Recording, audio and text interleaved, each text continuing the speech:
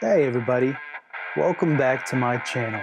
In this video, I'm going to show you guys how to make the best tuna steaks, better known as ahi tuna steaks. So let's get started.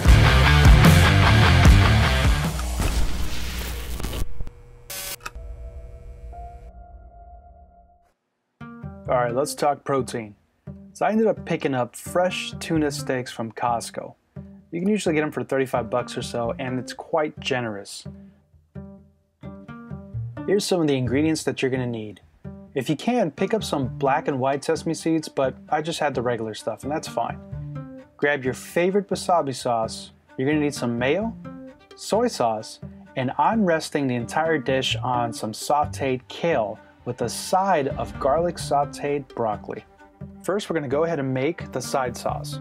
Grab two tablespoons of mayo and mix it with one tablespoon of wasabi. Next, we're going to mix in about two teaspoons of lemon or lemon juice. And then we're going to go ahead and season with salt and black pepper. Give everything a nice thorough mix and then go ahead and taste it for flavor.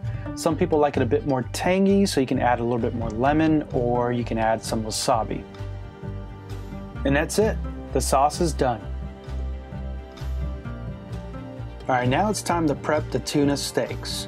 First, we're going to give the steaks a bath in soy sauce. Make sure you get both sides and the edges.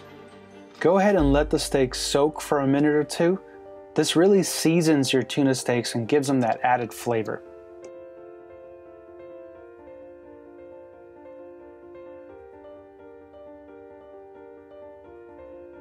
Next, we're going to go ahead and brush wasabi on all corners and edges of the tuna steaks. This is a critical step because it allows you to stick all the sesame seeds on the tuna steaks. Next, you guessed it, we're going to dip the tuna steaks in the sesame seeds. Make sure you get all the sides and the edges. I'm using regular sesame seeds, but if you can, get black and white sesame seeds because it gives an amazing contrast and a bit more flavor. Alright, now it's time to sear your tuna steaks. Go ahead and light your burner on medium heat and use your favorite non-stick skillet. I'm using carbon steel. Then we're going to put about 2 to 3 tablespoons of olive oil. Let the oil get up to temperature and place your ahi tuna steaks in.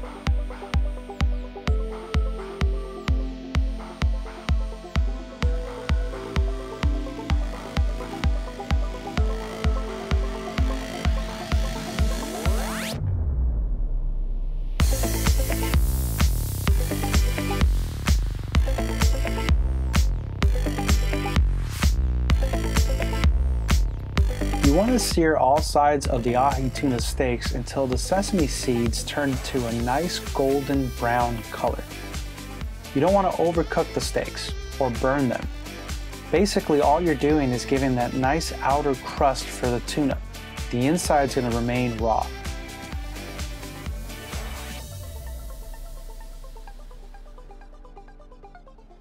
Alright, next we're going to go ahead and saute some garlic broccoli. Go ahead and wipe your skillet clean and put about 2 tablespoons of olive oil. Then throw in your broccoli. Go ahead and let them sizzle in the pan for about 1 to 2 minutes aside. Stir fry occasionally and season with salt and black pepper. Next, you're going to go ahead and crush one garlic clove into the broccoli.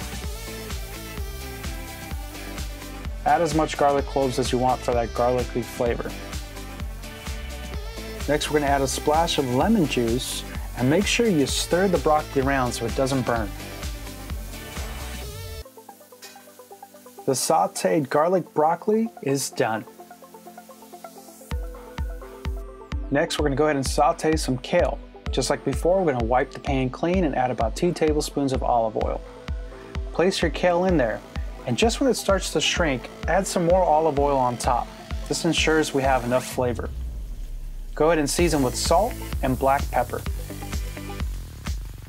Move the kale around frequently so you can ensure that it's getting cooked on all sides. The kale will shrink considerably, so make sure you add more than you need. Once the kale has a nice golden color and has softened up quite a bit and shrunk, it's pretty much ready to be plated.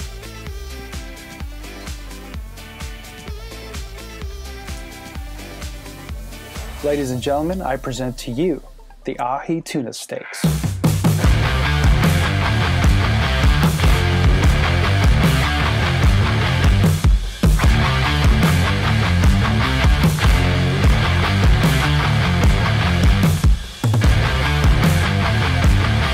This is a really simple and extremely healthy recipe. I highly recommend it. If you love seafood or poke, you're gonna love this dish. It has a very fresh, unique taste, and the seared outside sesame seeds really give it a nice crunch and texture. The sauce is tangy and super delicious, and the side of broccoli adds an additional garlic crunch. The bed of kale soaks in all the remaining flavors. This is an amazing dish and I'm going to be making it more frequently. As always guys, thank you for watching my video. Be sure to look out for my next video and I'll catch you guys on the next one. Have a great day. Hey there, did you like that video? If you did, I'd really appreciate your help. See, I'm trying to get to a thousand subscribers as soon as possible. And if you can subscribe, hit the like button, hit the notification bell so you get notified of my next video. I'd really appreciate it. And if you could share with your family and friends, that would help a lot. Thanks guys. I'll see you guys on the next video. Have a great day.